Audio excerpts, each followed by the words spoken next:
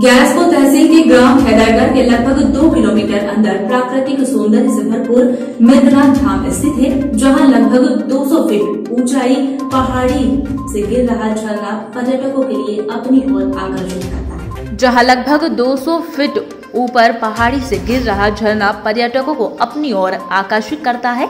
इस स्थल पर सैकड़ों की संख्या में क्षेत्रवासी एवं अन्य शहरों के लोग नहाने आते हैं, लेकिन जिम्मेदारों के उदासीनता के चलते अब तक इस झरने के समीप कोई रेलिंग या अन्य कोई सुरक्षात्मक दृष्टि से प्रबंध नहीं किया गया है।